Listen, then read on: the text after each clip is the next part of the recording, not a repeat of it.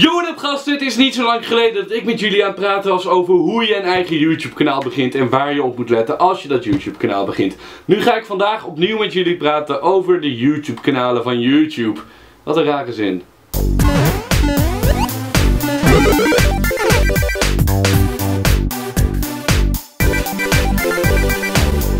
Keer kreeg ik namelijk heel veel vragen van jullie. Laat ik beginnen met een van de meest gestelde vragen. Met wat voor apparatuur neem je gameplay op? Jongens, gameplay kan je maken op YouTube. Alleen ik doe dat niet heel veel. Er is een reden dat ik niet zoveel gameplay maak. Omdat ik het niet zo leuk vind. Als je op YouTube video's wil maken van een videospel. Dan moet je onthouden dat je afhankelijk bent van het videospel. Als het spel kut is, wordt je video kut. En dat vind ik zo jammer aan gameplays. Daarom doe ik het liever zelf. Dan kan je zelf bepalen wat er in beeld komt. En dan weet je ook zelf of het cool wordt of niet. Maar toch, heel veel mensen vragen aan mij, Bardo, hoe neem je gameplay op op YouTube? Dat is simpel, dat doe je met Fraps. Download Fraps, start je spel op en neem het op. Het enige wat je nodig hebt is natuurlijk een microfoon aan je computer en dan ben je al klaar. Dan kan jij je eigen gameplay opnemen. Alleen nogmaals, het is gameplay. Ik denk niet dat, ja, het is, het is leuk en aardig, maar Succes! Verder gaan we het niet hebben over gameplay video's. We gaan het hebben over alles daarbuiten. Met de tips die ik aan jullie geef kan je verder alles maken. Vanaf beauty video's staan piano video's, vlog video's, sketch video's. Uh, verzin het maar wat voor video's.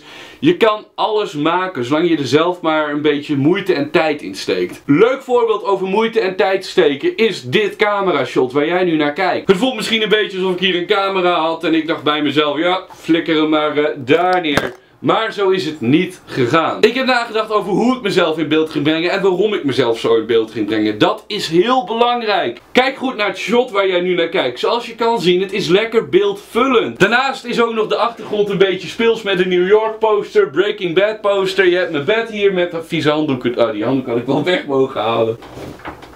En dit is een goede tip dus, hoe je je vieze kamer kan schoon kan laten lijken, ja.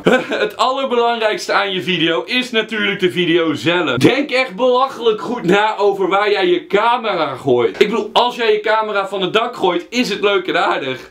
Dat is zo'n flauwe grap, die, nee, die maak ik niet eens af. Gooi je camera op een goede plek met een leuke achtergrond. Goede belichting. Kijk, kijk, ik laat het jullie zien. Daar is namelijk het raam. Ik kan... Oh, dat is mijn webcam. Hallo webcam en Sony Vegas, hoi.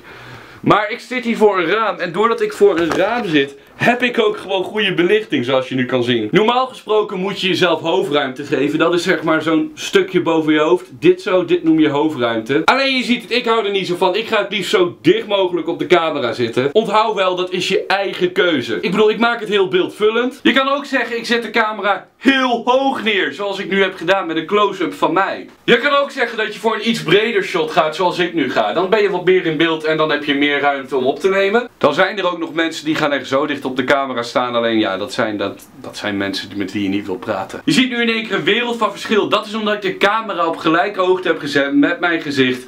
En ja, dat brengt dit shot. In alle eerlijkheid doe ik dit meestal. De camera op gelijke hoogte zetten van mijn gezicht. En dan zorgen dat ik tot aan mijn tepels zeg maar in beeld ben. Ja, ik zei tepels. Lach er niet om. En nogmaals, je kan ook zeggen, ik ga wat naar achter, dan ben wat meer in beeld. Een heel belangrijk ding is bij de vorige shots dat er niet veel diepte was in het shot, wat je nu bijvoorbeeld wel hebt. Je ziet nu heel duidelijk een hoek. En door een hoek lijkt de camera al direct veel dieper. Doordat je wat diepte op de achtergrond hebt, is het ook beter om scherp te stellen. Zie je meer dat het scherp gesteld is. Hoewel het nu wat meevalt omdat de belichting gewoon kut is. Maar je snapt wat ik bedoel. En nogmaals, puur zodat jij een plaatje hebt. Nu heb ik wat afstand genomen van de camera. Er is zelfs nog een derde manier om een uh, camera shot te bepalen. Dat is dat je helemaal in beeld bent. En dat de camera nog verder naar achter gaat. Nogmaals, ik hoop dat je hier naar kijkt en dat je met me meedenkt. En dat jij thuis gaat spelen met de camera. Zodat jij zelf je eigen camera shot kan bepalen. Want het camera standpunt is natuurlijk het allerbelangrijkste van je hele video. Je moet het goed kunnen kaderen en kies goed een punt hoe jij jezelf in beeld wil brengen. Denk erover na.